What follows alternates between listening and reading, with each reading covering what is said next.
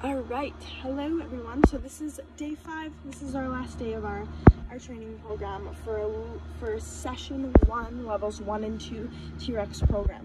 Um, so today I'm kind of going to be going over what it would look like with a an exam, a skills assessment for these levels at the end of the two weeks. So usually this is the day where our swim instructors would go, okay guys, we're getting in the water and seeing if you can do this to pass the level. So if you can exhibit these skills, um, try to go to a beach, a pool, somewhere to actually practice these skills in the water and see if you'll be able to do them. So first we're gonna have our safety topic, which is look before you leap. If you guys know what this means, um, so Usually when we jump into water, we really want to be able to see the bottom. If we can't see the bottom, it is unsafe to jump because we don't know if there's rocks or something that could hurt us under the water. So really make sure you're looking over the edge to see if it's too, maybe it's too shallow or if we're jumping on a friend, we don't want to be doing that either.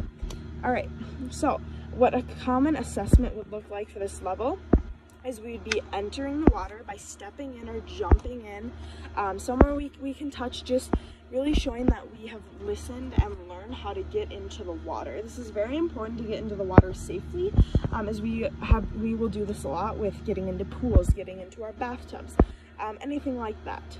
So now that um, we're in the water, if we're in about shoulder length water, um, this is where we would start the assessment.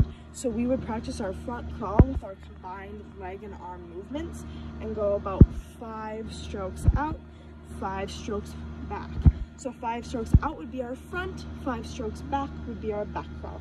And you would have passed that, uh, that assessment. And this is actually all one skill. So the skill would be to jump, swim, turn around, swim back, crawl back to the wall.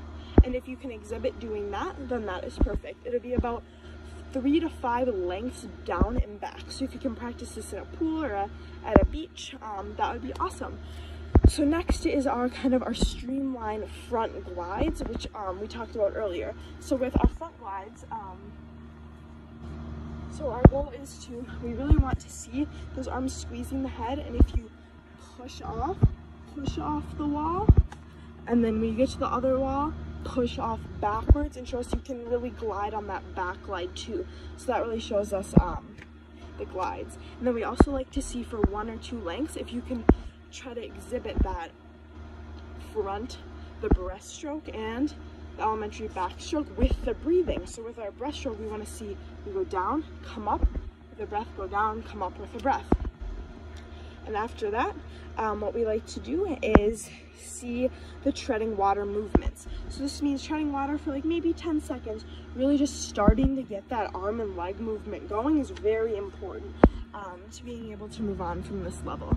So I hope you guys have learned a little bit um, about how we do um, an assessment for this. So maybe try this assessment at home. Uh, this is what I like you guys to do. So go through these. Um, you can keep going through them. Maybe replay some of the videos and look what I've been teaching you and try to perfect these. And then put that sticker there and I'm going to talk about um, talk about our review in the next video. Congratulations, you guys.